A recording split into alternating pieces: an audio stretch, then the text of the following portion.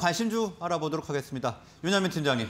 네, 일단 저는 소카를 좀 준비해 왔습니다. 사실 이제 소카 같은 경우는 우리가 알고 있는 이제 중고차 어, 시장의 어떤 하나의 좀 종목이라 말씀드릴 수 있을 것 같은데 저는 뭐 중고차 시장의 어떤 하나의 종목이라기보다 약간 플랫폼으로 봐야 되지 않을까라는 좀 생각을 하고 있고 일단 먼저 실적을 말씀드리면 작년에 실적 상당히 좋았습니다. 지금 창업 11년 만에 첫 흑자를 좀 기록을 했는데 일단 매출액 같은 경우는 지금 한 4천억 정도를 기록을 하면서 전년 대비 한 37% 정도 증가한 모습을 보여줬고 영업이익은 이제 94억 정도를 기록하면서 첫 흑자를 좀 기록했다 말씀드릴 수 있을 것 같습니다. 특히 이제 작년에 가동률 자체가 37% 정도밖에 되진 않았습니다만 그럼에도 불구하고 흑자를 달성했다는 거 상당히 주요 포인트가 아닐까 좀 생각을 하는데 아무래도 비결은 AI를 좀 적극 사용한 어떤 그런 부분이 있지 않을까 생각을 합니다. 뭐 이런 측면에서 제가 이제 AI 플랫 플랫폼과 관련된 종목이라고 좀 말씀을 드릴 수 있을 것 같고요.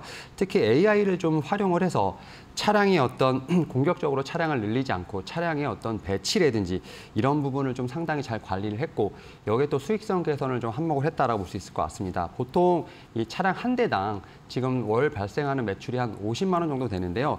이 회사 같은 경우 작년에 이제 한 대당 월 172만 원 정도가 좀 나오면서 기존 뭐 중고차 즉 렌탈 업체에 비해서 세 배 이상의 좀 수익을 올리면서 상당히 좀 영업이익 쪽에서도 좋은 효과를 봤다라고 볼 수 있을 것 같습니다.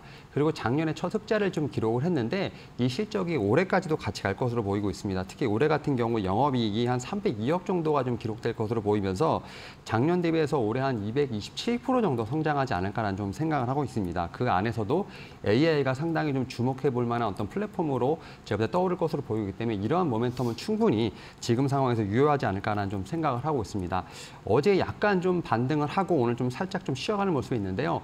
오히려 지금 측면이 좀 매수하기 좀 좋은 타이밍이 아닐까라는 좀 생각을 하고 있습니다. 저는 뭐 현재가에서 충분히 좀 매수가 가능하다라고 좀 말씀을 드릴 수 있을 것 같고요. 목표가는 2만 5천 원, 손절가는 1만 8천 원으로 제시해 드리도록 하겠습니다. 네, 오늘 관심주 소카 알아봤고요. 다음은 이청원 FA님. 네, 포스코 홀딩스입니다. 주가가 지금 4거래 동안 소폭 약세 흐름을 나오는 지금과 같은 시점이 매수하기 정말 좋은 시점이 아닌가 그리 생각을 합니다. 동사 같은 경우에는 철강 부분 사실상 시장 점유율이 우리나라에서 압도적으로 높습니다. 그 중에서도 자동차를 기반으로 하고 있는 산업에 이용이 되는 냉연 간판 그리고 조선에 많이 이용이 되는 판재로인 후판 시장 점유율과 함께 매출에서 차지하는 비중은 각각 30%씩 됩니다. 그런 면에서 전방 산업이 좋기 때문에 결국에 포스코홀딩스도 앞으로 실적 개선은 충분히 더 나오지 않을까 그렇게 생각을 하고요.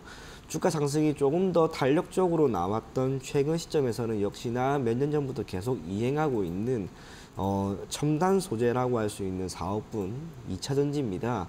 2차 전지 관련된 기업이 자회사로 이미 있는 상황에서 조금 더 여기에 대한 투자를 진행을 하고 이에 따른 기업 가치 재고가 추후 주가에 반드시 반영이 될 거라고 봅니다. 그런 면에서 포스코 홀딩스는 마찬가지고 기타 많은 철강 기업들이 점진적으로 새로운 산업으로 첨단 소재, 그중에서 2차 전지와 관련된 소재를 생산하는 기업으로 조금씩 조금씩 변화하는 모습도 저는 나오지 않을까 그리 생각을 합니다.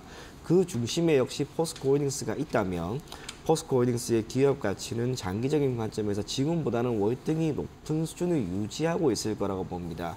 주가가 소폭 약세 흐름을 보이는 지금 시점 오히려 여러분들이 매수하기에는 참 괜찮은 시점이 아닌가 그리 생각을 합니다.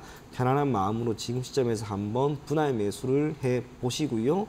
목표 가격은 37만 5천 원, 손절 가격은 30만 원 제시해 드리도록 하겠습니다. 네, 포스코 홀딩스까지 분석을 해봤습니다. 자, 오늘 말씀은 여기까지 듣도록 하겠습니다. 두 분 수고하셨습니다.